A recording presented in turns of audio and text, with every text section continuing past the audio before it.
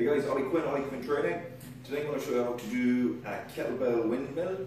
Uh, it's a movement I still use every week for core strength, T-spine mobility, shoulder stability, um, hamstring mobility and strength. Uh, it's a great one, you really should learn it, but if you're going to do it, um, do it properly.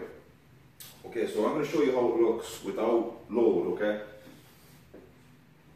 So it's a hinge and rotation. Go backwards, okay? Both arms are externally rotated.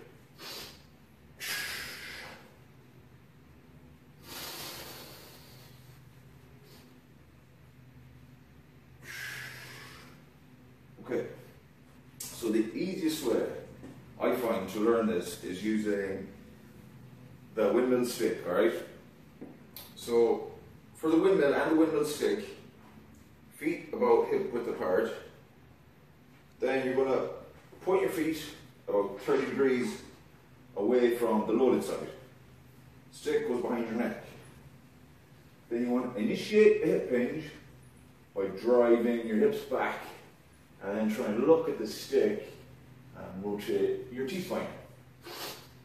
And you just hold it down there.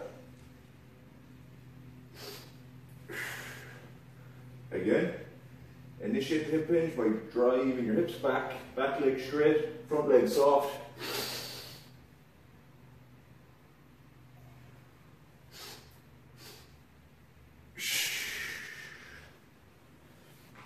So you pretty much done the windmill there, okay?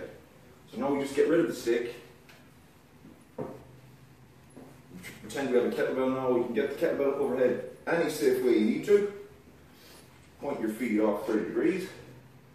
Start looking at the kettlebell, externally rotate both shoulders, push your hips back. Drive your hips back, load your hamstring, keep yourself full of air, and come back up. And recover. That's your windmill, guys.